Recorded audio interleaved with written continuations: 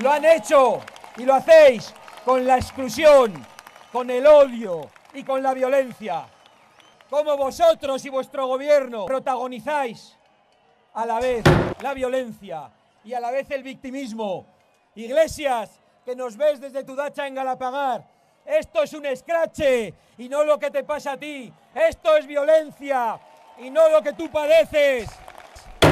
Marlaska debe ir a prisión. No exigimos su dimisión. Marlaska debe pagar